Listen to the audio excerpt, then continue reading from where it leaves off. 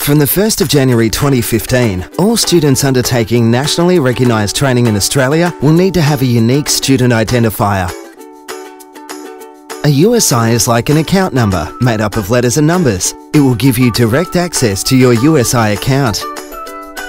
Your USI account will enable access to your training records and results through your computer, tablet or even smartphone, anywhere, anytime. You'll also be able to see, send or print out your training records when applying for a job or further training. Each time you enrol with a new training provider, your USI will be required, so they can make sure your records and results are placed into your account. You only need one USI number for all your training and it's yours for life. To create your USI, just follow these quick and easy steps.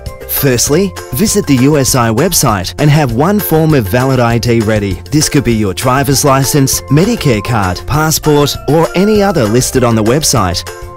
Once you have agreed to the terms and conditions, you're ready to go.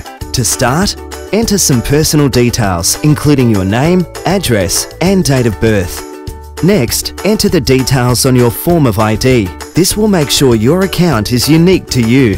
To finish, set up your security questions. Then choose a password for your account. Once this is done, you have created your USI.